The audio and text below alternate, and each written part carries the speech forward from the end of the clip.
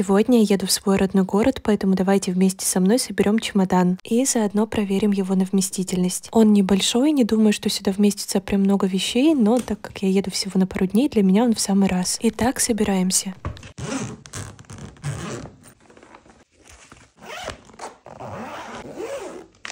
Сначала складываем косметику в мою косметичку. Тут несколько кармашков. Сюда я кладу кисти для макияжа, пару штучек. В этот отсек я кладу антисептик. Сюда кладу бальзамы, блески и карандаши для губ.